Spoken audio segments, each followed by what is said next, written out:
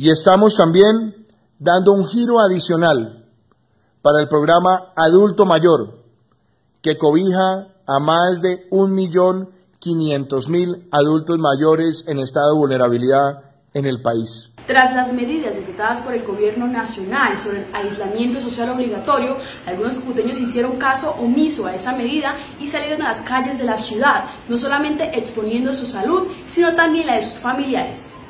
La primera entrega decretada por el presidente de Colombia, Iván Duque, fue para el adulto mayor, pero los cucuteños no hicieron caso al aislamiento obligatorio, percibiéndose aglomeraciones de personas en diferentes puntos de pago de subsidio, largas colas de más de 10 individuos incluso en su mayoría personas de la tercera edad.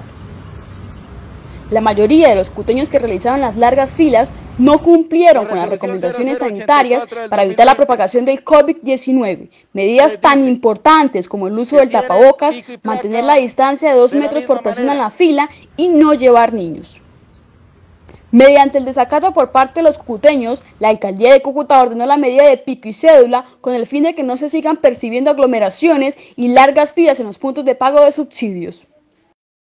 El llamado es a los cucuteños que seamos conscientes, actuemos con responsabilidad y evitemos una consecuencia mayor a la que ya vivimos con esta pandemia mundial.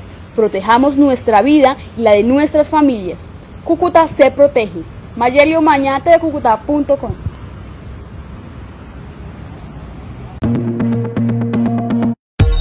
Teleclic Noticias.